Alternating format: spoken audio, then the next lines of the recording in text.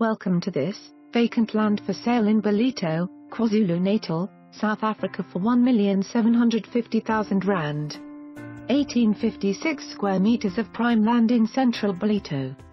The land rises above the road with an opportunity to subdivide. The surveying has already been completed. Good sea views can be achieved from this site.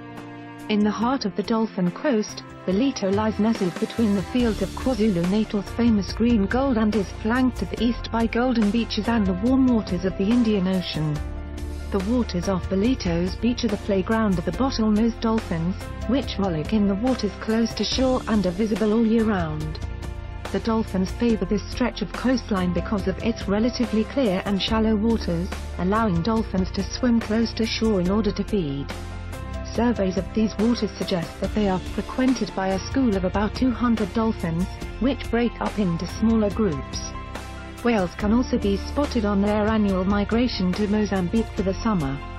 The main swimming beach in Ballito is Willard Beach.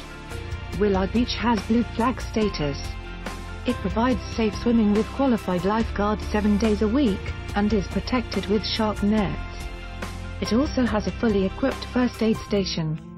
Willard Beach is also a popular spot for surfing and bodyboarding. Lifeguards and shark net are provided at a second beach, Clarke Bay. Further south of Clarke Bay is the Ballito Tidal Pool which caters for the young and old. The pools are well maintained, clean and are home to a wide variety of sea life.